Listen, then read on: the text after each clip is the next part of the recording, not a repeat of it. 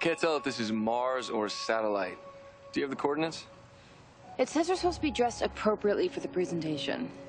Like, business conservative? I'd rather wear a vomit.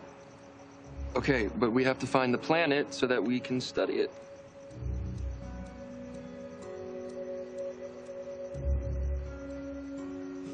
Hanna. Look, there's no rule that says you have to walk into school with her tomorrow. Well, it's not written down, but it's understood. We're gonna walk down those hallways with Ali, and everyone will think what they've always thought. Which is what? That we're her puppets. But you're not. So who cares what they think? Hey, people know who you are, Hanna. They do. Because lately I don't. Are you still having nightmares about Shana? I see her everywhere. Everywhere. It's like she's haunting me for what I did to her. Look, all right, all right. This isn't about Shana. This is you doing this to yourself. Okay?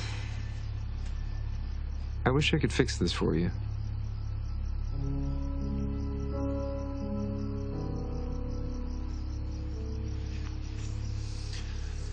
And I know it's silly, but I keep waiting for that A message.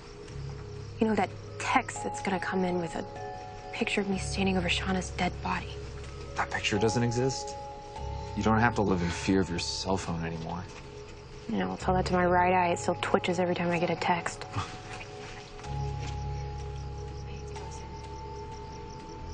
What's she doing out this late? I don't know. Since she's been back, she's practically lived in her bedroom. Alison?